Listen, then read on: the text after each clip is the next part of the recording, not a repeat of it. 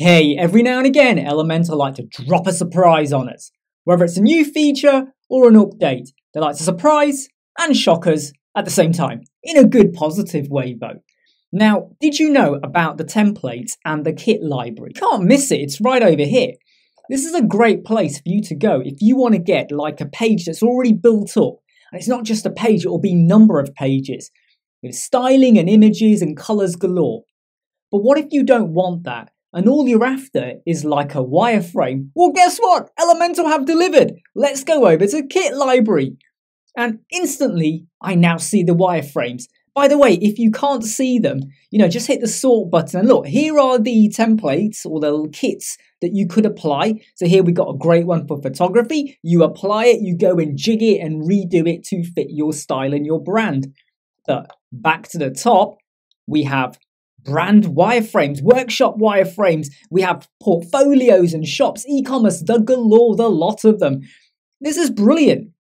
Now you might go, well, I don't really need to do this. I like to start from scratch. I like to start from scratch too. But sometimes this is giving you the scratch bit. You know, you scratch my back, I scratch yours. Probably not in context of what we're doing here. But let me just go over to portfolio. This one over here and I'm going to click it. This is giving me a literally a raw wireframe. There's no images here, right? There is some buttons with a little bit of color, whatever. It's got a menu system here at the top. I can hit the mobile if I want to see how does it look, etc. But look, I've, I've got, I've, I've, you know, your subheadlines, your intro, your recent projects, featured in testimonials. This is kind of raw okay? Because you're not now having to undo things. You can add and adapt to this. I've gone through and I looked at the e commerce one. This is brilliant. You got your products, you kind of know your branding, and now you've got to put together the shop. And rather than you going and purchasing a theme or a template from somewhere else, you could just use this. This kit library will do it all for you. Well, it won't do it all for you. You still have to get your fingers and do a little bit of that as well. We'll get someone like me to help you out. But you know, you still got to do stuff like that as well. But this is brilliant. And look, let's just click on the overview. You get a home page, a portfolio page, an about page, and a contact. Let's just click on the portfolio. Let's just have a look at it. This is set up for you. You now add in the pieces, the ingredients. Go get bacon and cook your cake. Right, so this is, for me, a bit of a game changer in helping people out because Elementor is meant to be usable by everyone. No matter what your skill set, you're a veteran developer, you've been doing it for 20 odd years, or you're new to the table and you're a little bit worried. You know, there's YouTube videos, there's tons of support, there's ed- experts, educators out there. But this is going to help you, once you've got your licenses, to jump straight in.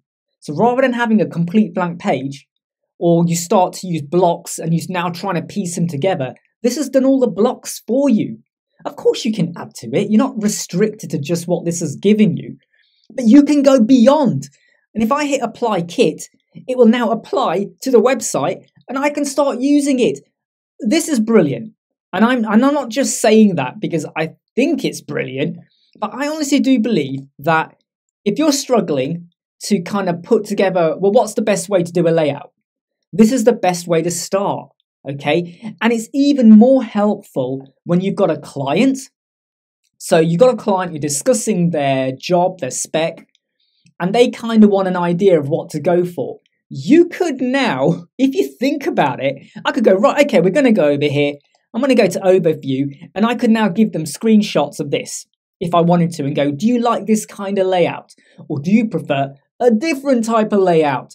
And then once they've kind of honed in on what they want, you can start scribbling away with the actual website.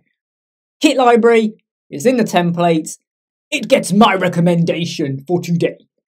I hope you like, subscribe, share, and follow. And of course, I'll keep seeing you